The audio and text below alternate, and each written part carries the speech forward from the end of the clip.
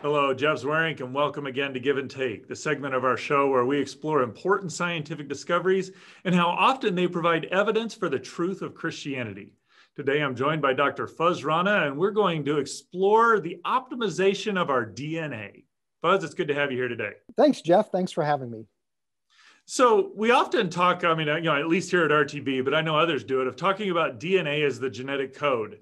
Is it really to, correct to talk about DNA as a computer code? Yeah, I mean, that's a, a good analogy. I think we want to be always careful about maybe pushing the analogy too far. But, you know, DNA is a molecule that harbors information.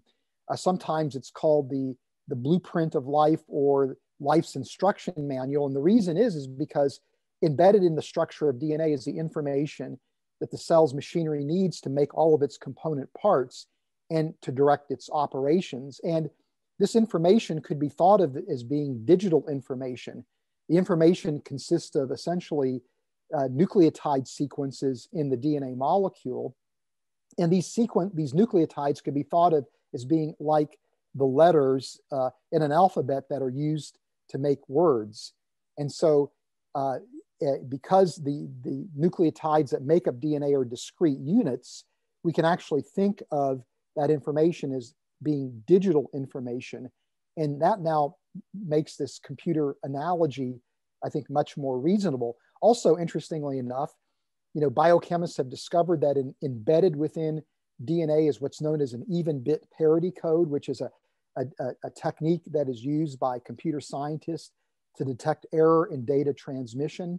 We also have discovered that the machinery in the cell that manipulates DNA is literally performing a computer operation, so much so that it has inspired a new area of nanotechnology called DNA computing, where people are building computers from DNA and again, the cell's machinery that manipulates DNA.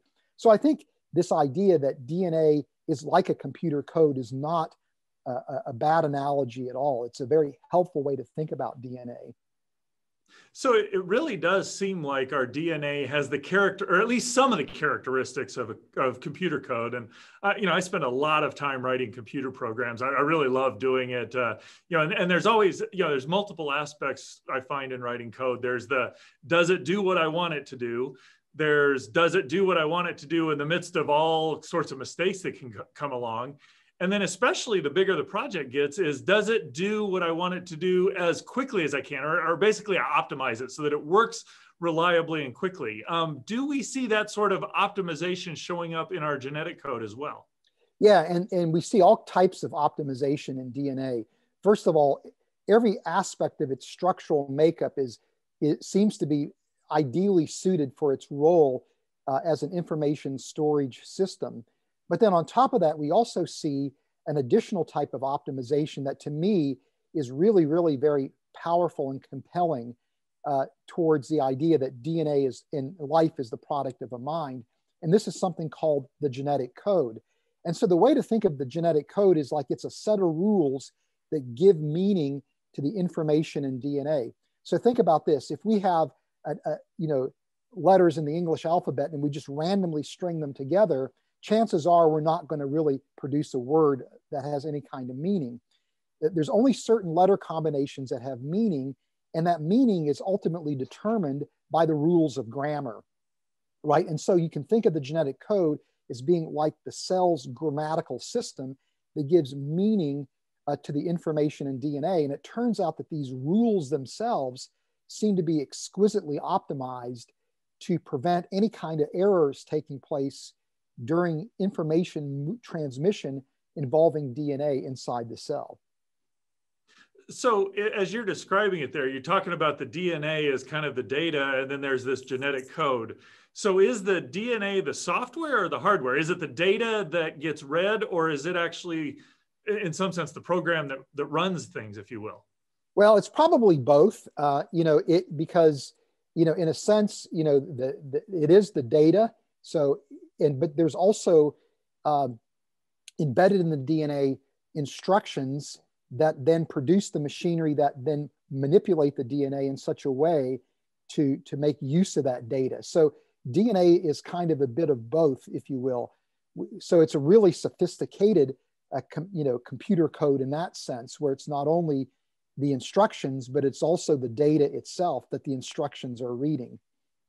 So I know you've talked in the past about uh, the genetic code or DNA being optimized for error correction, optimized to carry multiple layers of code. I know you found you've written an article about a new kind of optimization. I think it's on resource conservation. Describe what that is. Yeah, well, you know, as you mentioned, you know, the genetic code is optimized so that if a mutation happens, which would alter the information in the DNA molecule, that that, that mutational effect has minimal damage to the DNA, causes minimal disruption. But uh, there's another type of optimization that has just been discovered, and this has to do with resource utilization.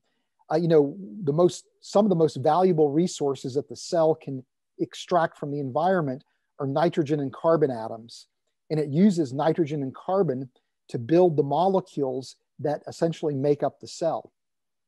And and not all of these building block materials are equivalent. Some use more nitrogen atoms than others, some use more carbon atoms than others.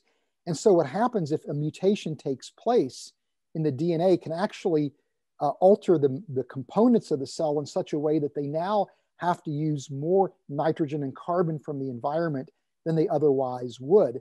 And so, the genetic code is optimized to when a so that when a mutation happens, that that the, the that the that the changes actually minimize the excess resource costs that the cell would be confronted with. So it's optimized to ensure uh, you know the, the optimal use of resources from the environment.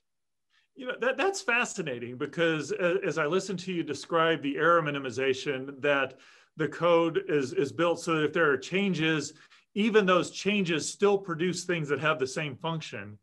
But in doing that, that's so the fact that it's got uh, that ability to handle errors, the way it does it also allows it to uh, optimize its resources that are available. So the the ad- the adaptation to allow error minimization also provides resource utilization. Uh, that to me strikes me of ingenious design.